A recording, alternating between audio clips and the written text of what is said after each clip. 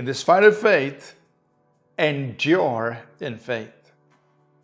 Hebrews chapter 6, verses 11 and 12. And we desire that each one of you show the same diligence to the full assurance of hope until the end, that you do not become sluggish, but imitate those who through faith and patience inherit the promises.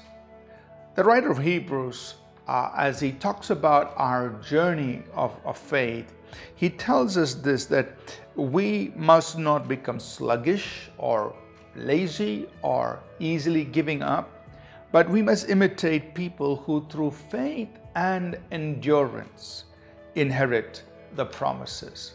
You see, we've talked, we are talking this entire week on our fight of faith, that this walk of faith involves a fight, involves conflict.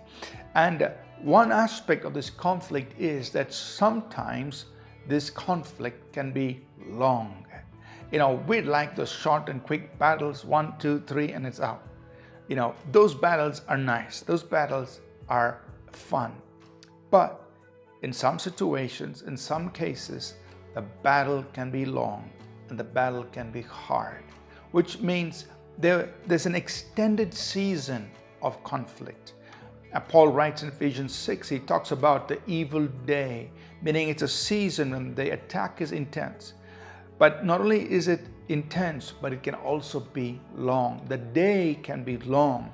And that's when you and I must learn to have enduring faith.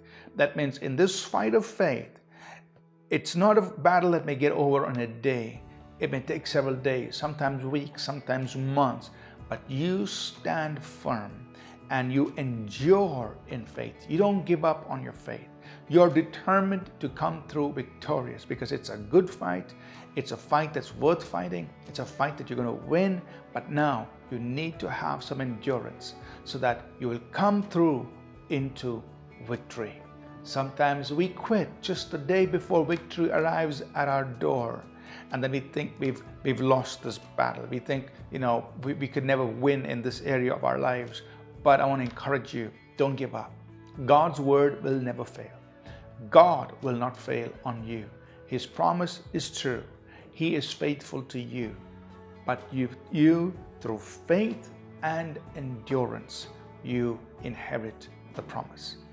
Fight the good fight of faith with endurance the longer the battle, the sweeter the victory. So press through to victory. Let's pray. Father, we ask that you will enable us to endure, to not give up, to not quit in the fight of faith, Lord, but we'll fight through to victory because you've guaranteed us victory. Help us to fight the good fight of faith with endurance. In Jesus' name.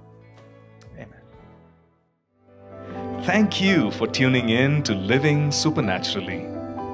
For more resources to strengthen your spiritual walk, please visit apcwo.org.